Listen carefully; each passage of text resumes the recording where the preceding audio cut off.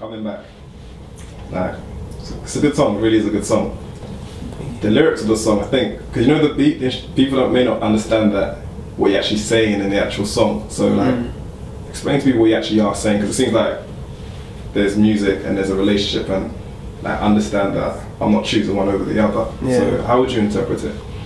For me, it's um, it's basically just about like I got my own personal like you know relation to the song, which might not be what everybody else takes from it or interprets from it, but um, it's just about saying to like someone close to me, like family and stuff, like that I'm doing this, I'm doing my music and stuff because um, I'm not, I'm, I'm going off and chasing my dreams, but I'm not doing it just for myself, if you know what I mean. I'm doing it because I want to benefit the people around me somehow, and I want to try and make life better, and I have to do this because it's like.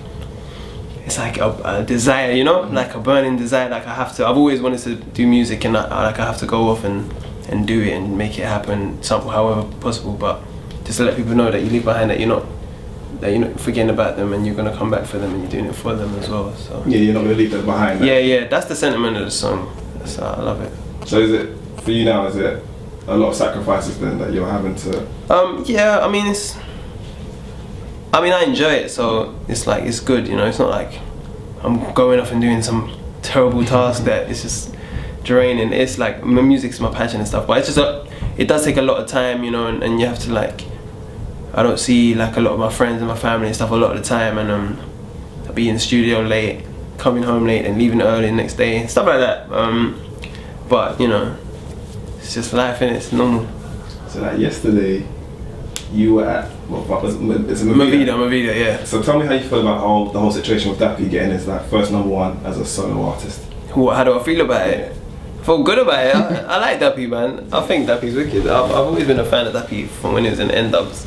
Some people don't like him, but some people are like, always cuss him on YouTube. I always see like calling him this and that. I think he's he's naturally a talented lyricist. Hey, and Dappy is sick. I say it on my Twitter sometimes, and people are like, ah, he's just a chav and all, this, all these kind of talks, you know.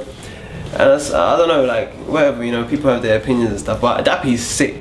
Dappy, like as an artist and performer, and as a lyricist and a rapper, like I've always think, even as a character, you know, he's just he's interesting and he's just he's good, man. I'm I'm happy that he's got, you know, he's doing his solo thing, and I feel like he's got things a lot to say, you know. Um, so you know, good luck to him. Innit? So now for you, obviously, you're obviously working towards the album. Yeah. Right, so roughly, where are you at in terms of actually completing or turning over your album?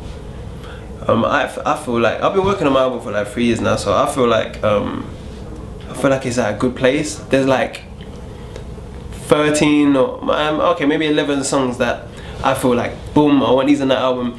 These are my tunes. These make me feel good. These is you know what I want to say, and um, even there's some songs on there that some people might be like, I don't know if you, or not so sure, but I'm like, no, I love it. I don't even care if people don't like it. This is what, I want to say. What type of what type of songs are those? Is it is it a sound or is it a concept? No, it's just some of the some of the concept. Like I got one song. This is a bit mad. It's not. I, I don't think it's mad anyway. But the music of it is a bit different to like the rest and stuff. But um, all the production stuff is still in process. But I've still got to get that all right and that. But um, yeah, I, I, the songs that I've got on there so far, I, I really enjoy it. They, make me feel good and make people want to dance and feel happy and whatever. You know, different emotions, different eclectic styles and that. But I'm happy with the song so far. I might, you know, I might go back in studio and do something new and say, okay, I prefer this to something else I got in there because you have to kind of choose what's the best and stuff. But so far so good. I feel I feel good about it. It's a bit different to what everything else is out there and stuff. Is it more difficult now being signed than when you actually were trying to get signed? Because I think there's a perception that once you're signed, it's a bit easier. But I mean, which one do you find like more difficult or more of a struggle when you're Um, coming up, or now the pressures of having to having to deliver, like, you know, the numbers and things of that nature? Yeah, I don't know. I don't really, I don't really want the, the numbers and stuff like that. I don't, I don't. It don't really affect me right now. Um, I don't really feel pressure. To me. But the thing is, you know, it's because you're natural. Like I said this to a lot of people that out of everyone who's out there, you're the one that's, who I feel is the most naturally suited to this. You know, To- this whole being a, you're a showman, you could perform, you got the character, you got the voice. See, look at this yeah, No, but man, I like you, man. oh, thank you. I appreciate No, it. but you seen one that you, it's like taking a you seem at ease with yourself, and I think people can see that even with your um your videos, like the thing on the subway, even the last video that you did, um, a dollar in a dream, like you're able to Oh, yeah. just generate interest on your own. So I'm just saying that you know, is it, you know, at some point the corporate interest is going to think, well, we have to start delivering. And, Yeah, I think I'm uh, right now. I don't feel too. I think it's probably once you release a couple songs and they none of them do like you know anything major in the charts, and I think it's also a problem if you don't seem like you have like if you don't seem like there's potential for it to actually get there.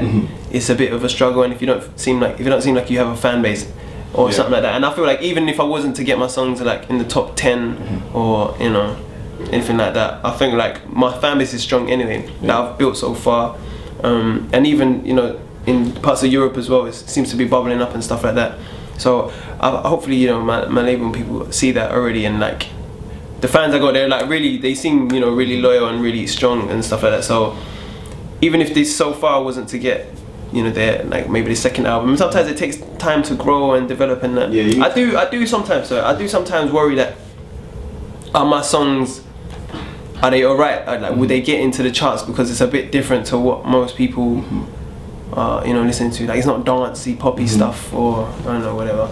So I, I'll think ah, is it gonna work? But I still have to just make music that I enjoy you know or else or else I'll just quit man. I don't, there's no need to do it otherwise.